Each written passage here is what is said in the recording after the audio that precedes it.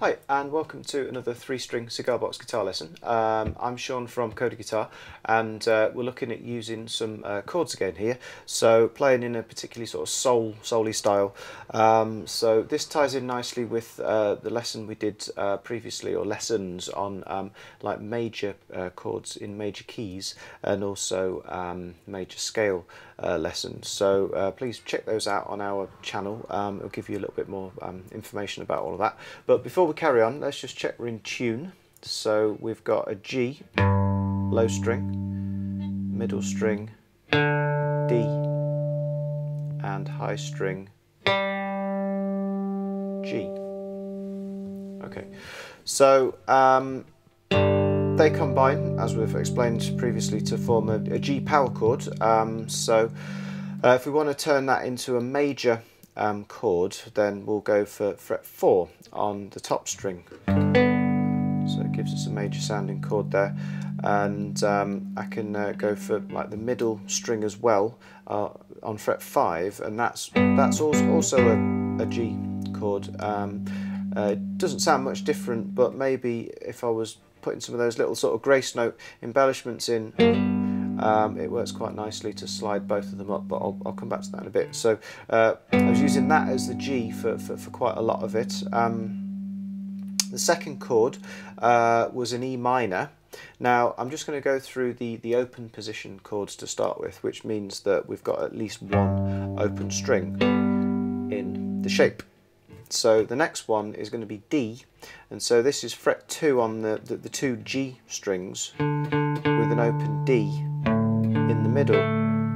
Okay, um, there, there are potentially sort of nicer sounding um, D shapes in this one, but it's just that we can use an open string, so it means that your hand doesn't get too tired out if you're constantly like barring, basically, which I'll, I'll cover in a minute. Um, so there's a D. Next one's an E minor. So I've got fret 2 on the middle string and fret 4 on uh, the low G, and I've got open G um, top string ringing through. So there's an E minor. And then very closely related shape. So the C, just literally step up from fret 4 to fret 5 there. So there's a C on open, 2, 5. There's a C chord.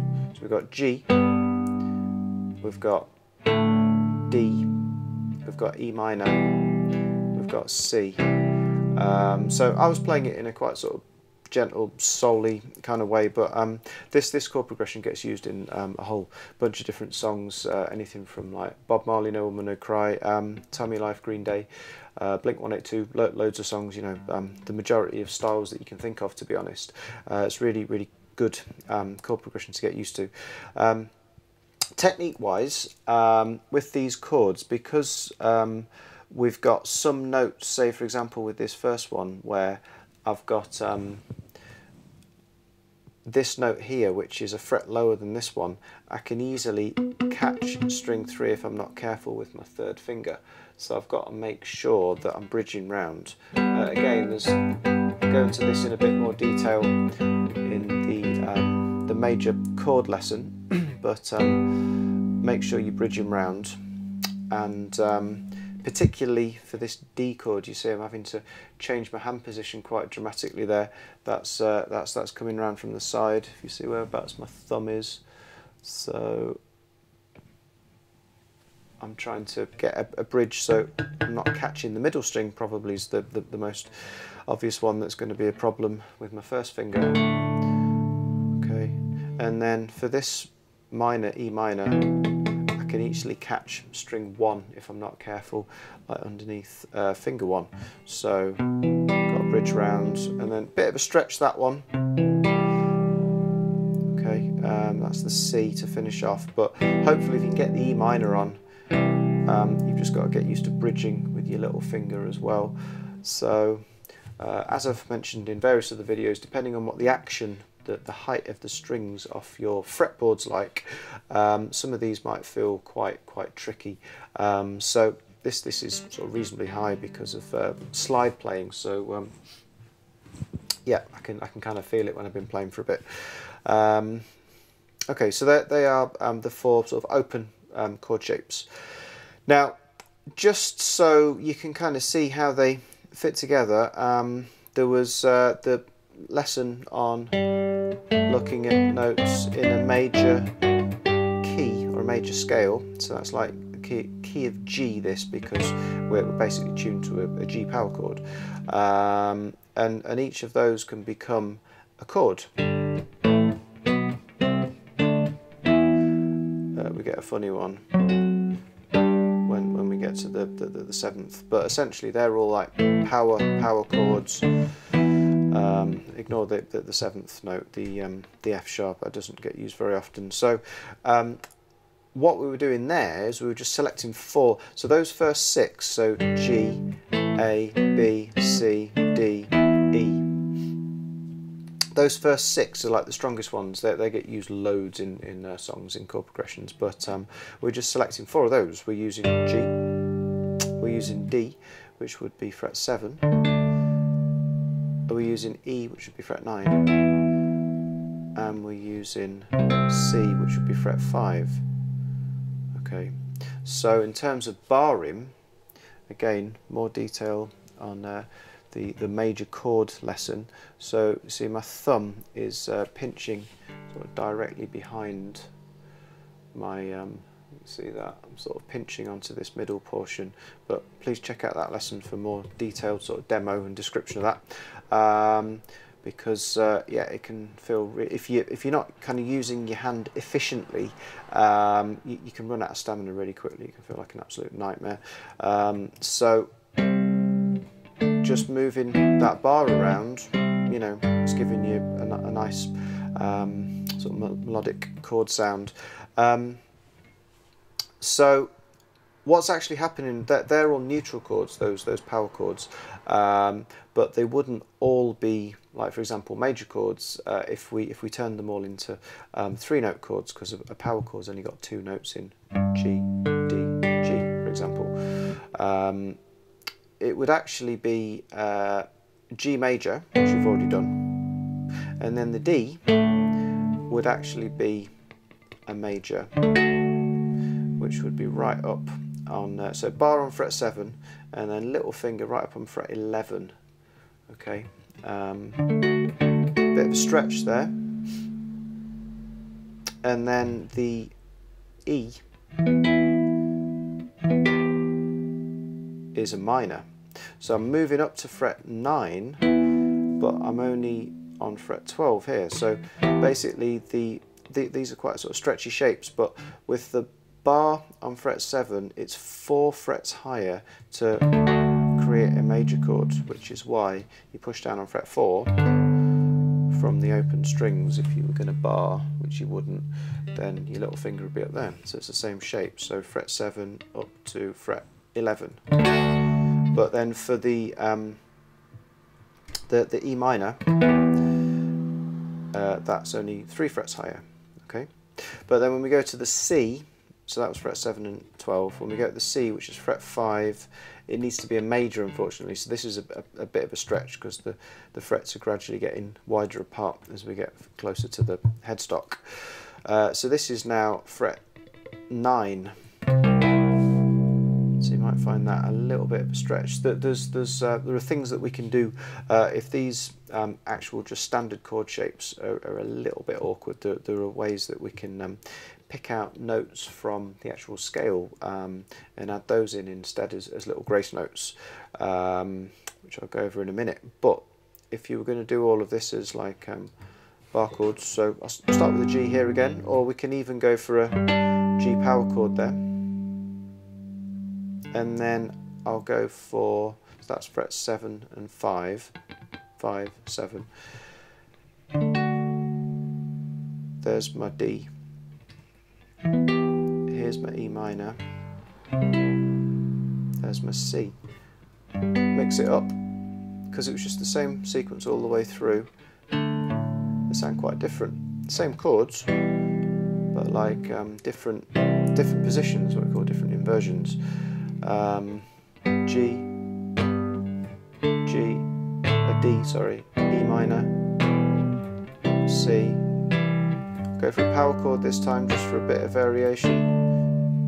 There's a D, E minor, C. So that's starting to sound quite varied.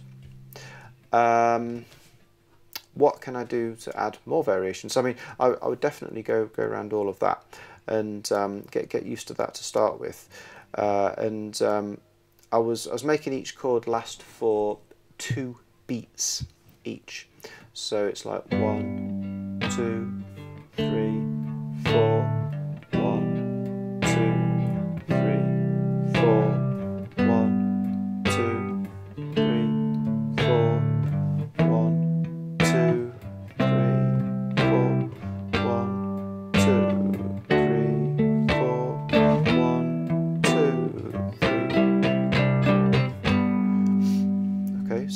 uh, definitely go go around bo- both of those versions um, on their own to start with, and um, uh, nothing particularly that defined with the right hand with the picking hand.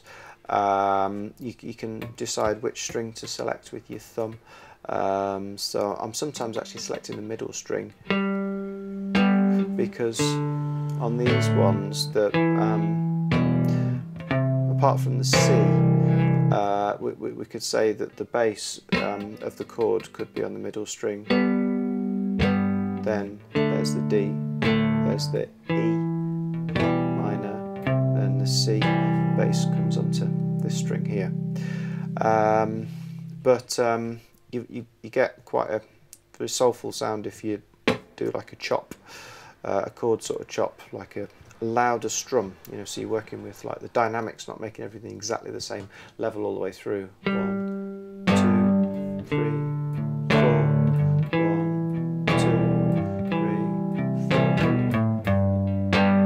I'll, I'll go around some of those passing notes in a, a short while. Um, so uh, go around that, go around the, the, the, the bar chord um, variation, and then uh, because we're in the key of G, what we can do is we can look at different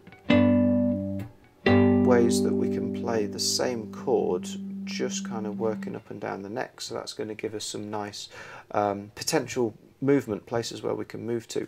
Um, so here's the the first one on frets 5 and 4 to start with. Uh, and then from there I can go like the power chord shape frets 5 and 7 and then sort of flip it back round I'm on 9 and 7 so that's sounding very similar. It's still basically the same chord just a slightly higher version just stacking the notes differently on top of each other. And then finally we can go to fret 9 and 12 I can even start down here if I wanted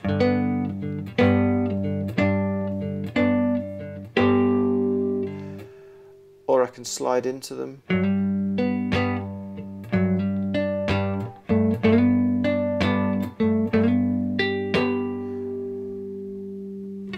doing the, the chop on the second beat each time.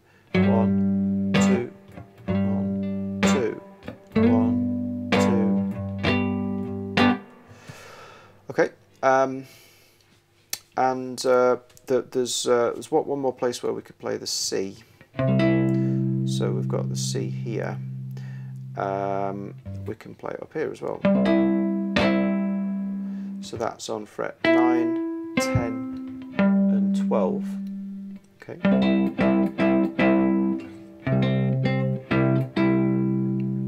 And then uh, for the E minor, uh, instead of always going up to doing a full bar and always going up to fret 12 with the highest note, uh, I can I can actually play what's called a, a seventh shape. So that's frets 9 on the bottom two strings and 7 on the high G. Again, watch your, watch your bridge there. Okay. Um, but most of the other variation was actually uh, just looking at which which extra notes, sort of scale tones really, note, notes from the scale that I can add in on, on any of the chords. So um, there's a D, there's a D. Now if that's a bit of a stretch, I can just faff around on uh, fret 9 because that's bar on fret 7 so I can just uh, do some little like grace note hammer-ons or you don't even need to do that you can you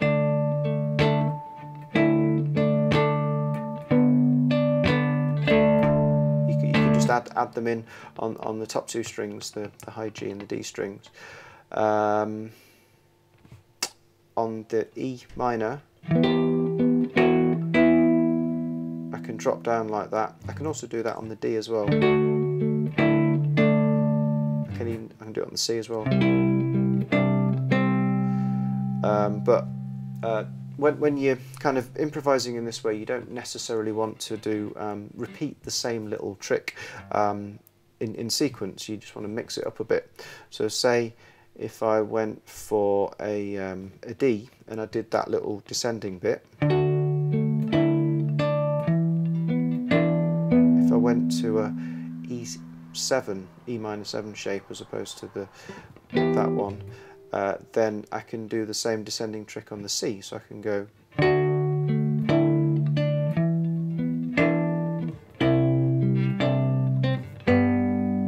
go back to the G there. And um, you can do that low uh, descending run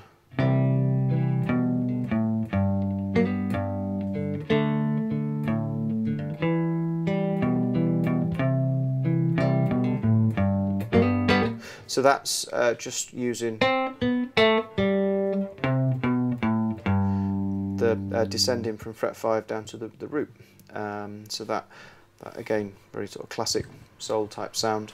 Um, and, and it's just a question of, uh, it takes a little bit of time because it, it, it's quite difficult like improvising with um, chords um, because uh, the, the, there's it, it's easier to just stick in a scale and um, and and just sort of work your way around.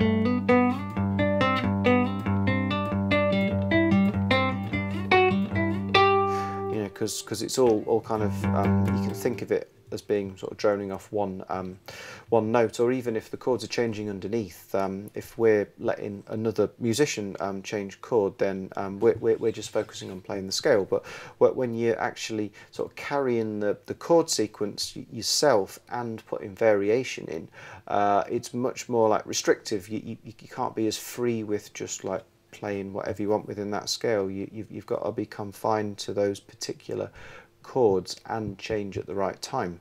Um, so it, it's a question of finding, you know, sort of two or three places where you can um, play those chords in the same sequence, and, and so you can just add variation. Um, so I, I, started down here, and I, I, played it a couple of times. Uh, it was very similar uh, the, the, second time, I think, um, but I just maybe just added you know some slight, slight variation but then straight away after that um, I might have gone up there. I can't remember. It was either there or to the, the power chord so that's still a G but this time I'm, I'm, I'm going to pick out some of these higher positions. So I'm, I'm going to move myself up on the G.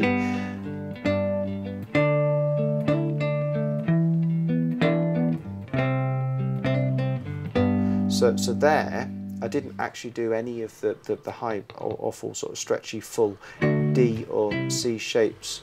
I, I, put like a little grace note thing on where it was uh, just hammering on onto the top string two frets higher.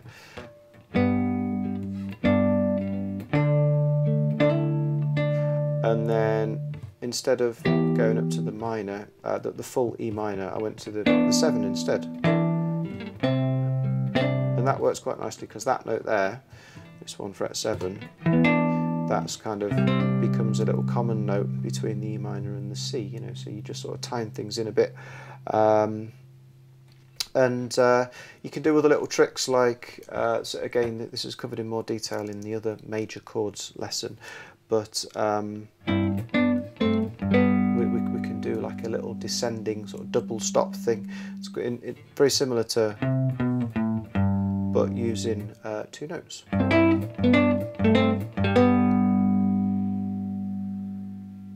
Okay. So just putting some of those ideas together. So we'll start low, go.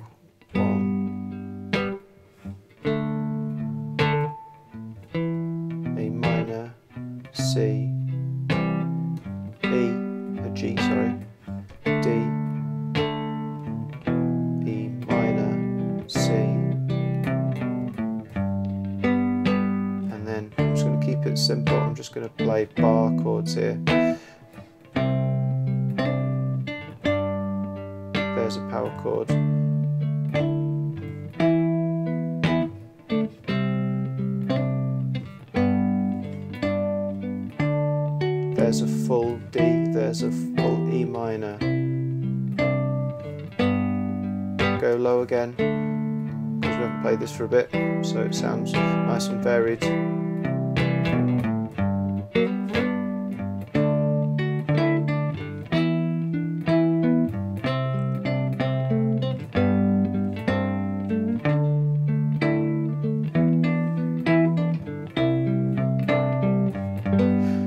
Once you get used to it, you can start to look at how, how you can, um, what, what other options um, you, you, have got um, stemming from, so if, if I've got to play the D, then uh, as a bar, I'm not going to move off that. And so what, what notes have I got from there? Use your ears, you know, you, it doesn't, you don't have to be a theory master or anything. Whoops, needs to be a major.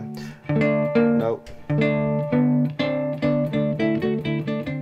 It's actually quite a lot of notes there. Um, can be quite difficult um, sort of keeping the bar on and then bridging round so that you say adding an extra note in on the middle string. Uh, you, you, might actually find it easier because you can get away with being a bit flatter. You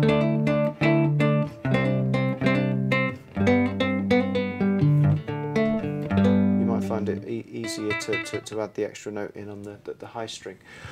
But um, yeah so again uh, it's not blues, but it's um, related um, in a way. And uh, you can uh, say um, you do sometimes have a, a, minor chord thrown into to a blues actually. Um, so I, I, don't know if you noticed, but we had the G, uh, the C, and the D uh, in this, which were taken from. Uh, like a standard 12 bar blues, but you do occasionally get the E minor thrown in as well. So there's like a old uh, Robert Johnson song which has been covered by loads of people uh, Eric Clapton, I think, Rolling Stones, people like that, and uh, called Love in Vain, and um, that uh, that throws in the, the, the, E minor. So it's like you you you're on um, G, and then.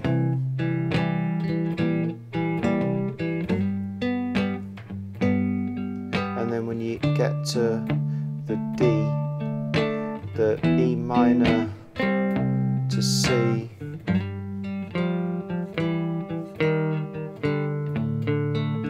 so it, it, just gives it a slightly sweeter sound um, where if, if you throw the minor in or I could do it low down here.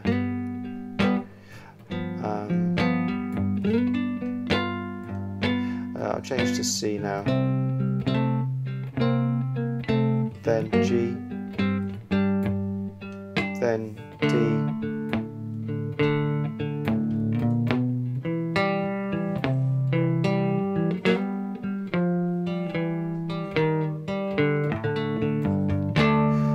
So, so again, um, there's there's some uh, relation there between you know sort of soul and blues kind of vibes.